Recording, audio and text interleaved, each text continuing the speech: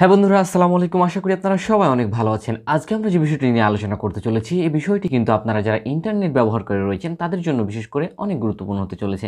কারণ আজকাল আপনারা ফেসবুকে বা অন্য অন্য যে কোনো সামাজিক মিডিয়াতে অনেক ধরনের দেখবেন যে লিঙ্ক এ ধরনের লিঙ্ক কিন্তু শেয়ার করা হয়ে থাকে। আর এ ধরনের লিঙ্ক থেকে যখন আপনি সেই ডেটাটি বা ইনফরমেশনটি যখন দেখতে যান, তখন আপনাকে সেই লিঙ্কে আপনি ক্লিক করেন। এবং সেই লিঙ্কে ক্লিক করলে কিন্তু আপনি সেই ইনফরমেশনটি আপনার দেখার কথা ছিল। কিন্তু আপনি সেই ইনফরমেশনটি না দেখে আপনাকে কী করতে হয়? আপনাকে এ ধরনের ভেরিফিকেশান কমপ্লিট করতে হয়। ভেরিফিকেশান কমপ্লিট করার পর আপনাকে লগ করতে হয় আপনার ইমেল আইডি এবং পাসওয়ার্ড দিয়ে। তারপর কিন্তু আপনি সেই ইনফরমেশনে দেখতে পারেন। সো আজকে আমরা যে বিষয়টি নিয়ে আলোচনা করতে চলেছি, সেটি হচ্ছে যে কীভাবে আপনারা এই ভেরিফিকেশান এবং লগ ইন ছাড়াই কীভাবে এই ইনফরমেশনটি জাস্ট ওয়ান ক্লিক করে সরাসরি মূল সোর্স থেকে সেই ইনফরমেশনটি দেখবেন। সো আজকে আমরা এই বিষয়টির ওপর পুরো ভিডিও জুড়ে আলোচনা করতে চলেছি। তো আপনি যদি সে বিষয়টি নিয়ে জানতে আগ্রহী হয়ে থাকেন, তো অবশ্যই আমাদের ভিডিওটি শুরু থেকে শেষ পর্যন্ত দেখবেন।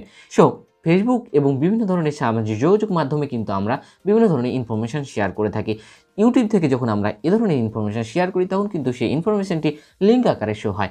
সো যখন লিঙ্ক আকারে শো হয়, তখন আপনারা যারা দর্শক রয়েছেন, তখন সেই লিঙ্কে ক্লিক করেন এবং লিঙ্কে ক্লিক করলে যেটি হয়, সেটি কিন্তু ফেসবুক আপনাকে সরাসরি ইউটিউব অ্যাপসে নিয়ে যায় না।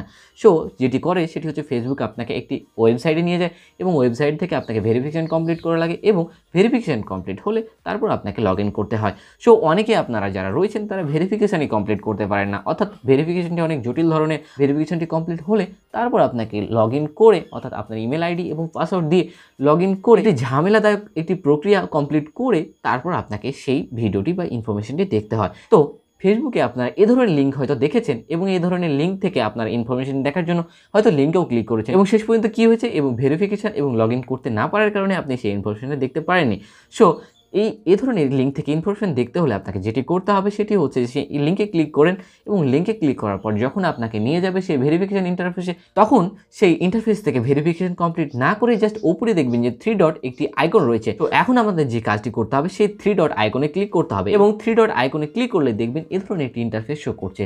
সো সেই ইনফরমেশানটি যে মূল সোর্স থেকে ছাড়া হয়েছে, সেটি যদি ইনফরমেশানটি যদি কোনো ব্রাউজার থেকে শেয়ার করা থাকে, তাহলে লেখা উঠবে ওপেন ইন ব্রাউজার এবং ইউটিউব থেকে শেয়ার করার হলে সেখানে উঠবে যে ওপেন ইন ইউটিউব সো সেই লেখাটিতে আপনাকে ক্লিক করতে হবে। তো দেখছেন যে এটি আমার ইউটিউব থেকে শেয়ার করা। সো লেখা উঠছে open in YouTube so open in ইউটিউবে আমি ক্লিক করলাম এবং দেখছেন যে সরাসরি আমাকে ইউটিউব অ্যাপসে নিয়ে গিয়ে আমার চ্যানেলের আমার ভিডিওটি শো করছে। অর্থাৎ যেই লিঙ্কটি আমি শেয়ার করছি, সেই লিঙ্কের ভিডিওটি কিন্তু এখানে প্লে হচ্ছে।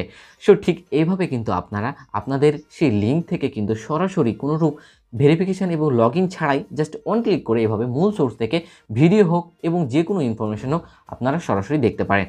সো ভিডিওটি কেমন লাগল জানিয়ে আমাদের কমেন্ট করবেন অবশ্যই এবং লাইক বাটনে প্রেস করে লাইক করে দেবেন এবং এই ট্রিক্সটি কি আপনার আগে জানা ছিল না আমাদের ভিডিও দেখার পরে জানলেন?